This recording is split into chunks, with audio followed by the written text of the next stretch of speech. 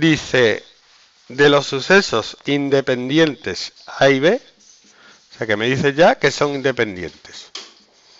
Si son independientes, ¿qué sé? ¿Cómo?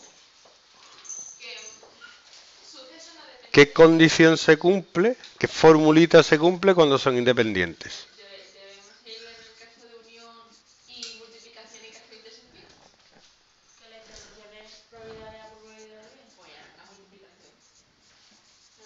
¿Eso has dicho tú?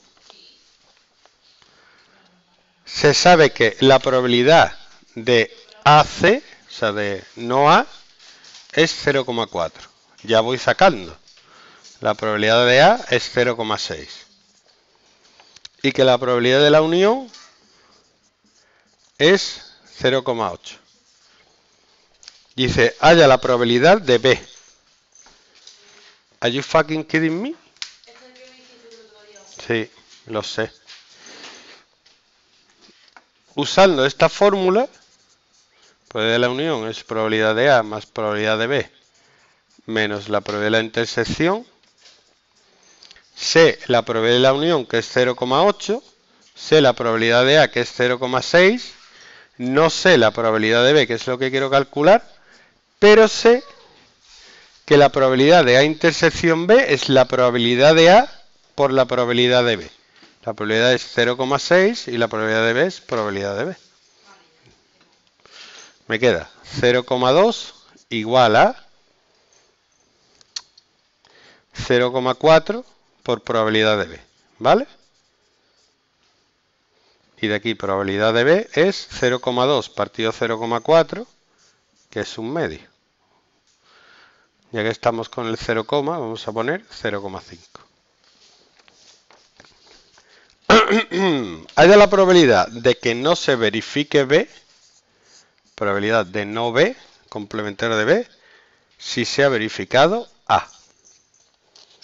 Eh, la probabilidad condicionada es la probabilidad de que no se verifique B y se verifique A, partido de la probabilidad de que se verifique A. Entonces, la probabilidad de A la tengo, que es 0,6. Bueno. La probabilidad de no B y A, ¿cómo la calculo? O de A y no B.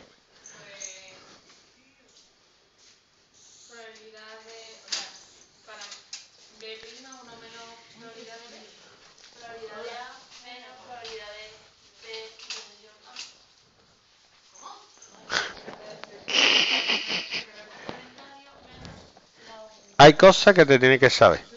¿Vale?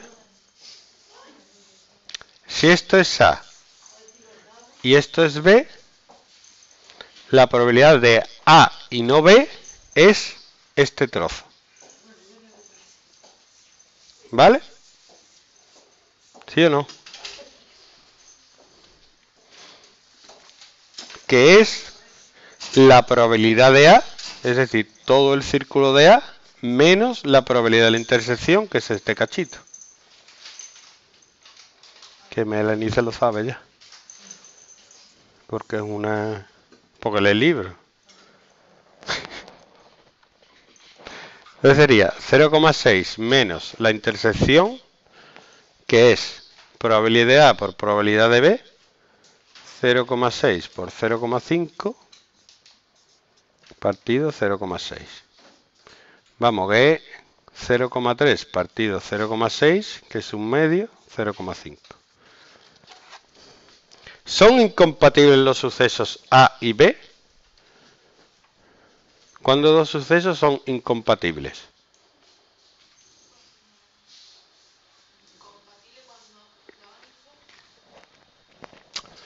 Dos sucesos son incompatibles cuando no se pueden dar a la vez, ¿vale? Es decir, la intersección de los dos sucesos es cero. ¿Vale? Entonces te preguntas si son incompatibles.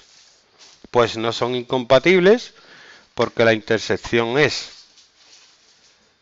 probabilidad de A, que es 0,6, por probabilidad de B, que es 0,5, que es 0,3. Como la probabilidad de la intersección no es cero, no son incompatibles. Se pueden dar a la vez los dos. Una cosa es que sean compatibles, es decir, que se puedan dar a la vez, y otra que sean independientes. No es lo mismo.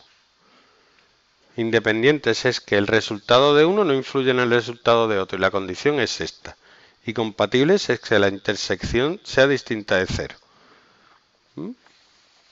Por ejemplo, si yo tiro una moneda y un dado, son sucesos independientes. ¿Vale? Porque no influye uno en el otro. Ahora, la probabilidad de que me salga cara y un 2 es distinta de 0. Por tanto, son compatibles. ¿Vale? ¿No? Y ya, independiente.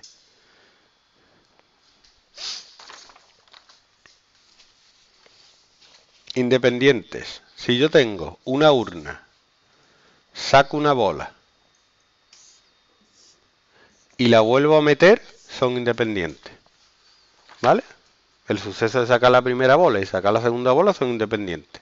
Porque hay el mismo número de bolas. Pero si la saco y no la vuelvo a meter, ¿eh? ya influye. Entonces son dependientes. Uno en el otro. Si yo tiro un dado y una moneda, y, y aquí si vuelvo a meter la bola da lo mismo pero si no la vuelvo a meter ya la, la urna no queda igual. Dependiente, hablando de bolas sería con reemplazamiento e independiente sin reemplazamiento. O sea, No, al revés. sin reemplazamiento e Son dependientes. Y con reemplazamiento son independientes. Y compatible e incompatible es que se pueden dar los dos a la vez. Si hay un montón de bolas, ¿es compatible que la primera salga roja y la segunda salga roja? Pues sí, son compatibles. Se pueden dar, la probabilidad de la intersección no va a ser cero.